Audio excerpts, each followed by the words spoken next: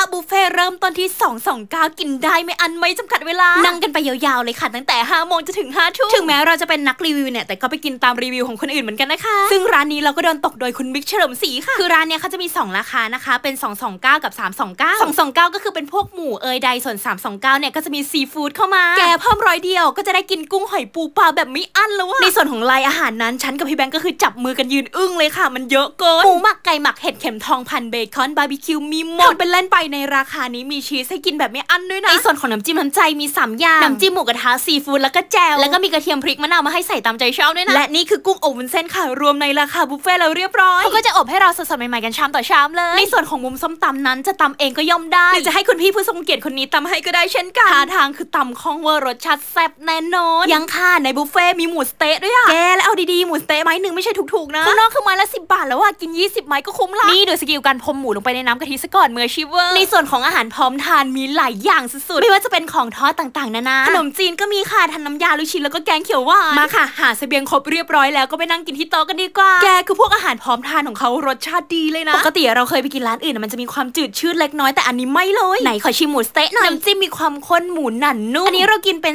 329 นะคะ ก็จะมีมาให้ 2 เตาเป็นเตาปิ้งย่างทะเลกับเตาหมูกระทะพี่แบงก์ก็คือ enjoy มากจัดการกุ้งไปหลายโลสุดๆกุ้งเขาโอเคเลยนะในหัวมีมันด้วย ส่วนเรานั้นคือเทใจให้หมูกระทะร้อยเปอร์เซ็นต์ค่ะด้วยความที่เขาใช้กระทะทองอะเนาะมันร้อนเร็วมากย่างหมูได้เกรียมดีเออและในราคาแค่เนี้ยเขามีเนื้อหมักด้วยนะทุกคนการที่เราได้กินหมูเกรียมๆจิ้มกับน้ำจิ้มรสเด็ดเนี่ยมันทำให้เราหายเหนื่อยได้จริงๆ ในส่วนของบาร์บีคิวไม้ๆนั้นเราก็เอามาปิ้งในเตาทะเลค่ะและอยากจะบอกว่าที่เนี่ยเขาเติมถ่านเปลี่ยนเตาฟรีด้วยนะในส่วนของของหวานนั้นมีทั้งผลไม้สดไอศครีมบัวลอยไข่หวานแล้วก็รวมมิตรกะทิด้วยยังไม่หมดค่ะน้ำแข็งใสก็มี เราก็คือจัดการทำแตงไทยน้ำกะทิมันร้านนี้เขาไม่ได้รวมน้ำกับน้ำแข็งนะคะ แต่ว่าราคาก็โอเคไม่แพงลืมบอกไปเลยร้านนี้ชื่อว่าหมูกระทะนายปอนะอยู่ระหว่างซอยอินทามระ10 กับ 12 นะคะฝากกดติดตามกดไลค์กด save กดแชร์ tag เพื่อนแล้วตามมากินได้เลยค่ะ ร้านนี้ดีจริงเขามีที่จอดรถให้ด้วยกว้างมาก อยากให้ใครพาไปเนี่ยก็ tag ไว้ใต้ comment หรือว่าแชร์ไปให้ดูก็ได้นะ